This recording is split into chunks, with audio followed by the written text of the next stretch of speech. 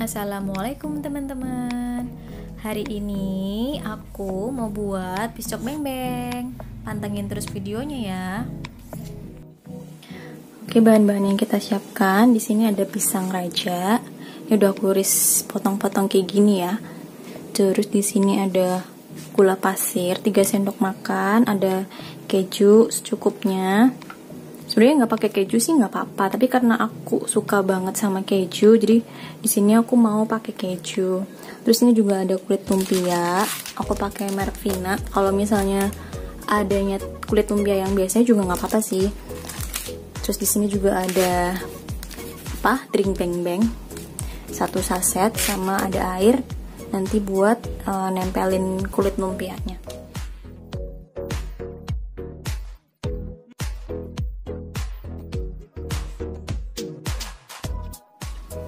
Oke, langsung aja kita buat uh, adonan gulanya ya. Gula pasir sama beng-beng drinknya.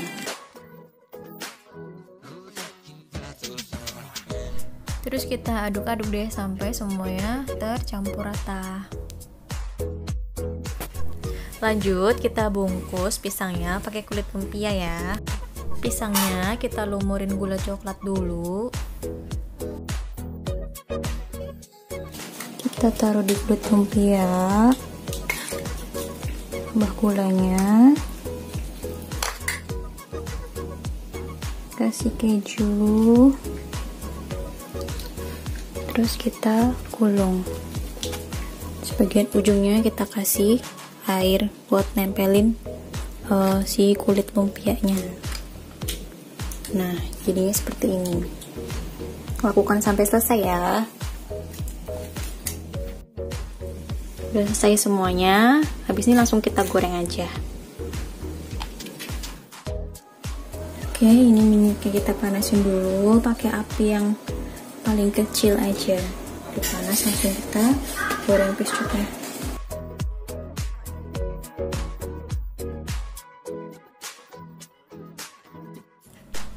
Ini apinya harus benar-benar kecil ya. Soalnya kalau apinya kebesaran, kulit lumpianya cepet gosong. Terus gulanya tadi belum jadi karamel, jadi harus sabar.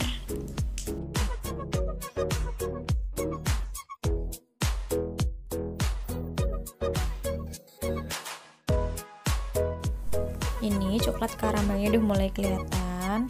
Terus kita tempel-tempelin di piscoknya.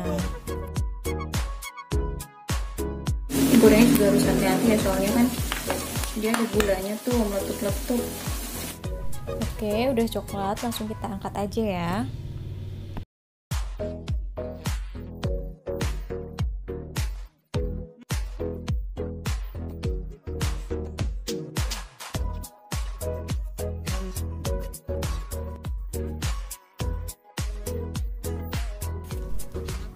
Nah, ini dia nih penampakannya setelah digoreng.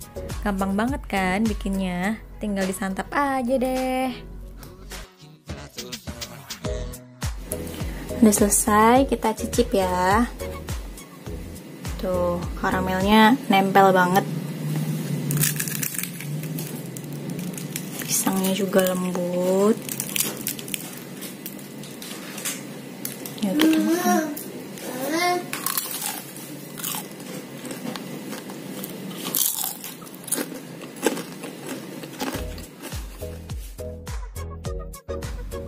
Oke, teman-teman, selamat mencoba di rumah.